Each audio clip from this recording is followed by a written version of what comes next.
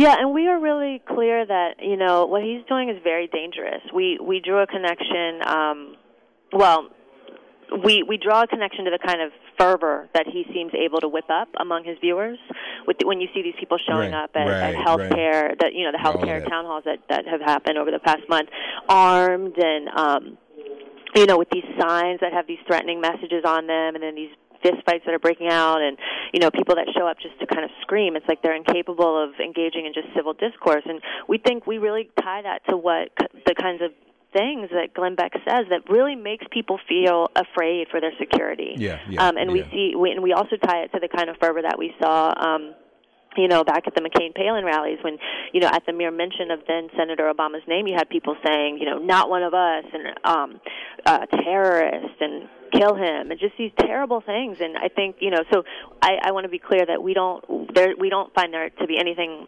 funny or you know, there's nothing funny about what Glenn Right. Beck's doing. We find it to be incredibly dangerous, and we Yeah. need to confront it as such. Good point. Rick's in Maryland. Rick, God bless you. You're on the air with Dani McClain of colorofchange.org. Go ahead. Hey, how you doing? This is Rick. Yeah. Hey, I want to uh, thank um, your guest for everything she's doing. Um, uh, you know, to speak out against Glenn Beck. But my question is, um, when President Obama was then the Democratic candidate, every time he made a statement or someone they presume from his camp made a statement, the Republicans wanted them to, him to repudiate him, make them say something against him. We're the Republican Party speaking about Glenn Beck. Who's going to speak out? He's now the president of the United States. And Right. furthermore, as far as the birthers and this this thing with his birth certificate, wasn't John McCain born in Panama? yeah, yeah, yeah, and and that, and that was a legitimate question. The New York Times did a big piece on that, as to whether or not he was born at a time when the Panama Canal zone was considered a legitimate place for a U.S. citizen to be born. And I think the way that was resolved was that his because his father was in the military station as a U.S. citizen. I believe that that's all the requirement you need. But that that was a question that was raised. Sure, and it was raised and it was addressed, and Yeah. then we moved on. you Right. know. And just like just like we need to move on with this. That's right. Thank you, Rick, for your call. Uh, moving quickly, let's see. John's in Phoenix. John, God bless you. You're on the air with Dani McClain. Go right ahead.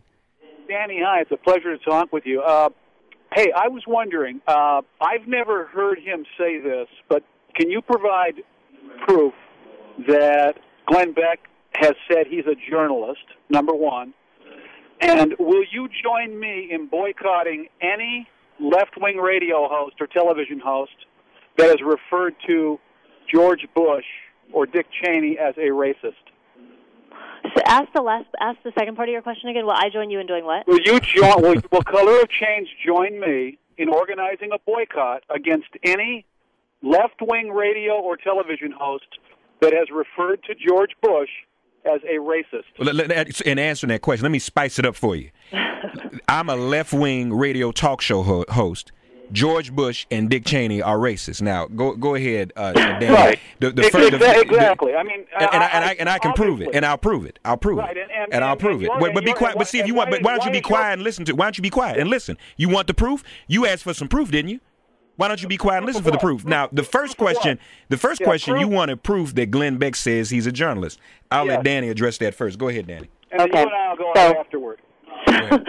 so um, okay, so uh, um, Glenn Beck presents himself as a journalist, and that That he. wasn't my question, ma'am. Okay. Has he ever Sir, are you going to let me answer He- your question? John, shut up and shut up and let her answer the question. Stop he- being that rude. He's a journalist. This is a direct quote from Glenn Beck. The truth shall set you free. I'm going to offer up evidence that part of the strategy of this fundamentalist transformation of America is to silent dissent, to silence dissent. And then there was absolutely no proof of any effort in the works to silence dissent. He says things like, "You are about to lose your freedom of speech in this country." Again, absolutely no proof that that's the case. He um, constantly presents himself as asking these questions, these fundamental questions um, that Americans need to investigate for themselves. That is So may I respond now? May I respond no, because now? Well, if you can, Well, would, would you Let, let, let, let her finish? finish, John. Let her finish, no proof. John. There- there- John. there- there- But, but see, but see, but see, you, you're Beck though, John. You are Glenn Beck. See, No, you're, no, you're, you're shouting, I'm you're just over talking talking people, you're going crazy, and I'm gonna I'm gonna count to three. And if you don't close your mouth, I'm gonna hang up on you. I'll let you call in as a conservative because you all don't let people on the left call in the right channels. You're able to call here. So I'm gonna give you one more chance to keep your mouth closed. Go ahead, Dani, and finish. Uh, So the point here is that he is acting as if he's raising these questions that have some and, and that the answers to which you know that they're legitimate questions to be to be raising and and they're not. The the other thing is that he is on Fox News channel. I'm not sure if you don't take that seriously, but I think most people in this country believe that when they tune into something that presents itself as a news outlet, right. news they're going channel. to be able to get news. Fox the, News channel. That's right. And anybody else who does commentary no, or analysis, anyone who does commentary or analysis, if you read the opinion pages of the New York Times or of any major newspaper, yes, these people are offering their opinions, but they're rooting those opinions in fact and yeah, in yeah. information that is provable in reporting. That is not what we see with Glenn Beck. Right. That that is that that absolutely. No, I don't think so because I got I got sir, other people I want to talk to. No. You've already you, you, your your response your response was him. inherent in the question. Said, he never said he was a journalist. You are it is a called liar, Fox News Channel. don't don't insult her. Don't insult her. You and, and, and and you are less than a man for insulting this young lady, and you are less than a man. Now listen, Fox. It is called Fox News Channel. John. It is called new. Look up news in the in the dictionary. Do you have a dictionary? Yeah. If I could just make Go one ahead. more point, I think it's really crucial to say, you know, look at look, the proof is in these 62 companies that have agreed that they don't want to be affiliated. Um, so you know, it's if if these are companies that realize that their brands will be damaged by appearing during a show where where you know this man, Mr. Beck, is passing off these these lies as journalism. I stand by that. We stand very firmly by that. That yes, he presents himself as a journalist, as a learned person who's raising important questions that Americans need to um, be thinking about. You know, it's it's. Um, it's not acceptable. It's not acceptable. We need we need good journalism in this country that helps us understand the very important policy issues that we face. Uh, Got to move quickly, folks. Lou, thirty seconds. Your question for Dani McClain. Go right ahead, quickly. Yeah, Dani. Yeah, I hear uh, who you who we shouldn't be listening to, but let me ask, ask you a question. Do you have a list of uh, hosts that I should be listening to that are like Obama approved? Uh, Goodness. In terms of journalists, anybody. Tell me who I should be listening to. You're telling me who I shouldn't be listening to. No, I I never heard of this guy. you guys started making a fuss about him. right? I, I listened to a ten minute. You never you never heard of Glenn Beck? Oh. Yeah. I heard ten minute three days ago. I heard a ten minute piece he did on Van Jones, which which basically blew him out of the water. He's history now. So the guy's pretty darn effective. Uh, thanks. And and, and and and so is Color of Change. Yeah.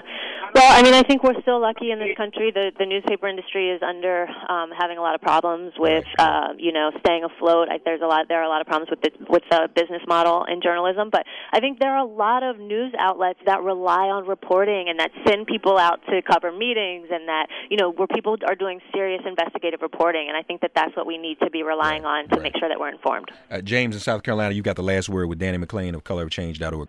Well, D.L. Hughley was on CNN for a while, and also, you know, the problem is, is that does, does Van words, Van Jones' own words mean anything? I mean, it ain't like he was saying things and making them up unless you agree with what the man was saying, and that's understandable. But these are words out of his mouth. All he did was replay what the man said. That's all. That's all Glenn Beck did. Yeah, Oh. So so so you support what Glenn? No. You you a Glenn Beck supporter then, right, James? Is that I'm what you're saying? I know I'm not a Glenn Beck supporter, but I don't I don't like that mentality of the man that that, that was thrown out. And I don't want him sitting next. to What what men, what mentality? What mentality is that, James?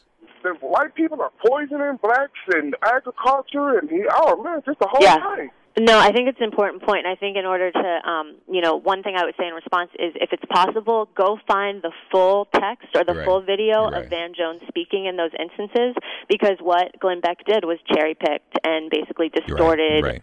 So much of of who of what Van Jones was actually saying. He took his statements completely out of context Right. and presented them as if um, it presented them in a very narrow way that basically took any kind of real meaning out of what he was getting at. So um, Right, I, I right. appreciate that question, and I, I respond very seriously by encouraging you to go and find the full, you know, the full context of what uh, of what uh, Van was saying in those in those instances. Glenn Beck should not be your primary source for news and information. That is the point. You believe what he cherry picks, just like when he says the president is racist. How many people believe that because he said it? That's the power of the media, and colorofchange.org has been effective in doing what it has done. Join the campaign, colorofchange.org, colorofchange.org.